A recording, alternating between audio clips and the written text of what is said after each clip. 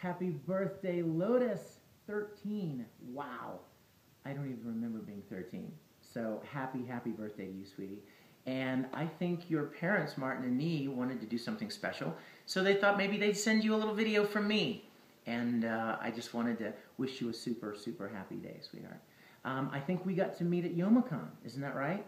And uh, I'm so glad you came. I hope you had a good time. And I just want to encourage you, sweetie. You are getting into teenage years right now, and a lot of changes and a lot of new things happening. So let me encourage you to trust God, to, tr- to rely on your parents and God for His guidance.